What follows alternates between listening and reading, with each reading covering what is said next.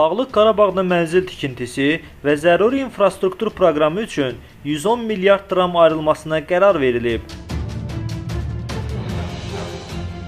Kanal 13 Konkret.az-a istinadən xəbər verir ki, Ermənistanın baş naziri Nikol Paşinyan bunu İrəvanda keçirilən Ermənistan və Qarabağ Təhlükəsizlik Şurasının birgə iclasında bəyan edib.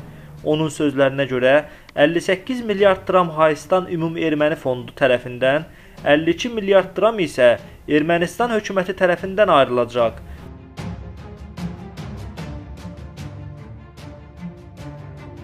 Paşinyan qeyd edib ki, Dağlıq Qarabağda sosial-iqtisadi inkişaf proqramları həyata keçiriləcək. Həmçinin gələcəyə və təhlükəsizlik sahəsinə dair strateji baxışlar müzakirə olunacaq.